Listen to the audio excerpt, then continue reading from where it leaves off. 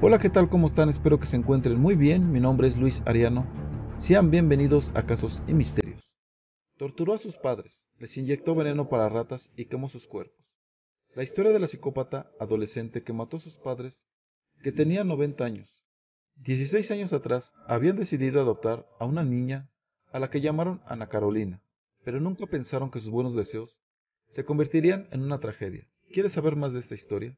Entonces siéntate, ponte cómodo, abróchate el cinturón y acompáñame a saber todos los detalles de este crimen.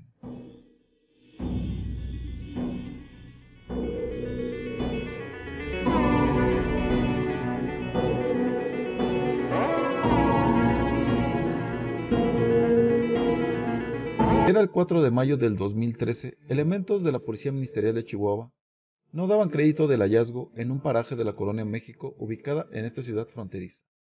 Los cuerpos carbonizados de dos personas les decían que habían sido víctimas de un crimen terrible. Las primeras indagatorias revelaron que se trataba de Feren López y Albertina Enríquez, ambos de 90 años de edad, cuyo único familiar era una adolescente de 16 años llamada Ana Carolina López Enríquez, a quien habían adoptado 16 años antes.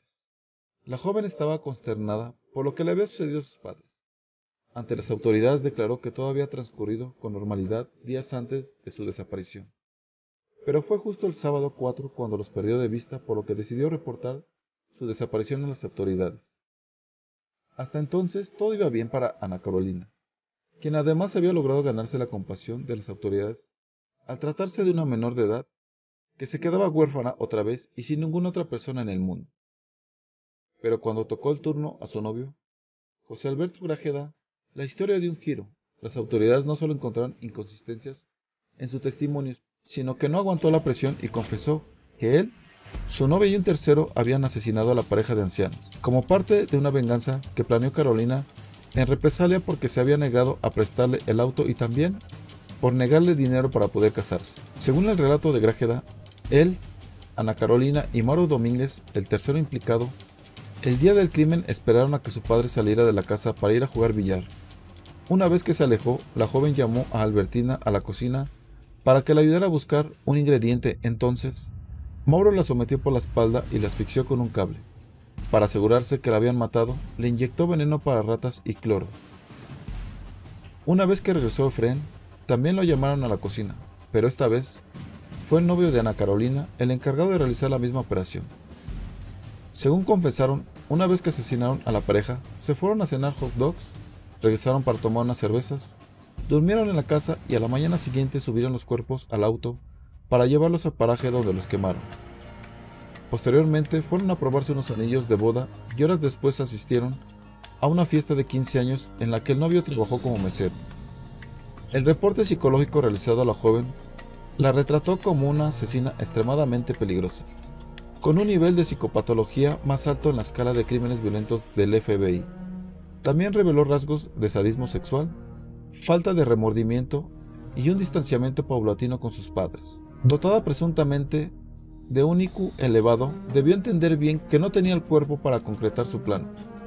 Una niña de 1.48 centímetros de altura y 40 y poco kilos jamás podría asesinar a dos personas por muy viejas que fueran pero el informe confirmó que por eso emprendió la búsqueda de lo que psicólogos definen como un próximo, un sustituto con la fuerza física necesaria.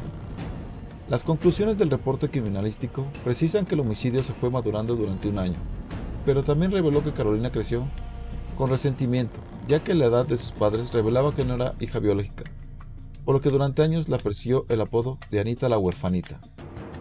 Ana Carolina fue puesta en libertad cinco años después, su salida se dio en medio de un fuerte hermetismo al interior de las autoridades de la Fiscalía y el Poder Judicial, ya que su caso conmocionó a toda la sociedad, puesto al ser detenida y reconocer el crimen señaló que no estaba arrepentida. Aún así, solo la condenaron a cinco años. Un caso corto pero terrible, donde dos personas deciden darle la oportunidad a una niña de tener una mejor vida, ofreciéndole un futuro mejor, sin imaginar que eso les costaría la vida, donde como siempre a veces no entendemos a la justicia, el cual después de los dos asesinatos, solo cumplió una pena de 5 años y fue puesta en libertad, sabiendo lo peligrosa que sería para la sociedad, ya que ellos mismos la calificaron de muy peligrosa.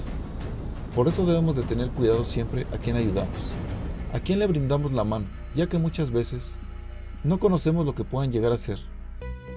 Pero dime tú qué piensas de todo esto. Me gustaría saber tu opinión. Ya sabes que si deseas hacerlo, puedes dejar tu comentario. Si este video te gustó, dale like, manita pulgar arriba, compártelo con tus amigos y en tus redes sociales. Eso me ayudaría mucho a seguir trayendo este tipo de historias para todos ustedes. Si no te has suscrito al canal te invito a que lo hagas activando la campanita de notificaciones para que YouTube te avise cada que subo un video nuevo y no te pierdas ningún caso como este. Recuerda que cada semana subo videos nuevos. Y también recordarte que si deseas enviarme tu historia o tu relato, para que pueda ser publicado puedes hacerlo al correo que se encuentra en la descripción del video. Y bueno, por mi parte ha sido todo, les mando un fuerte abrazo, nos vemos en un próximo video.